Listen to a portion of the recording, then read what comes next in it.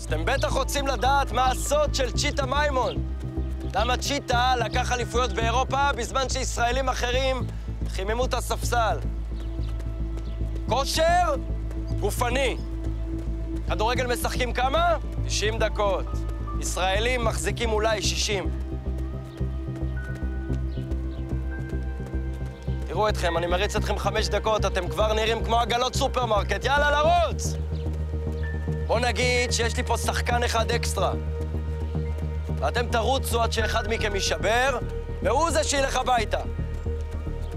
אלא אם מישהו רוצה לפרוש כבר עכשיו ולחסוך לכולנו זמן יקר. אה, מי פורש? מי פורש? בואו נראה מי באמת רוצה להתאמן אצל צ'יטה מימון.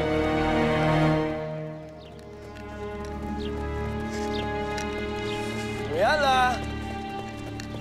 נהיה לי חם. מי עושה לכולם טובה ופורש? יש לי כאן אבטיח. קר. מתוק. אני אשמח לתת חתיכה ממנו לראשון מכם שנשבר.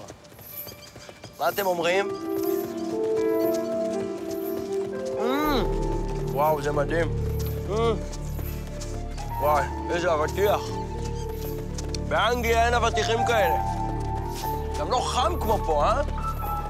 איזה חום היום. אבל האבטיח הזה קר.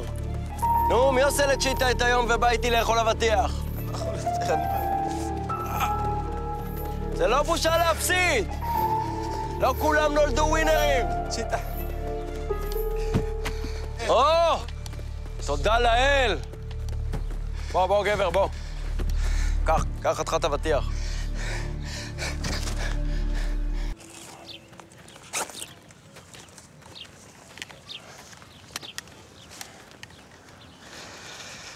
זה הקרסול, נכון? מה? קח, קח את זה. תמרח את זה, תוך יום-יומיים זה עובר ואתה חוזר כמו חדש. תודה. איך אמרת קוראים לך? לא אמרתי. נעים מאוד, אני לירון. לירון. לירון מה? ביטון. לירון ביטון. לירון ביטון. זה שם חזק. אתה פייטר אתה, אני אוהב את זה. לירון ביטון.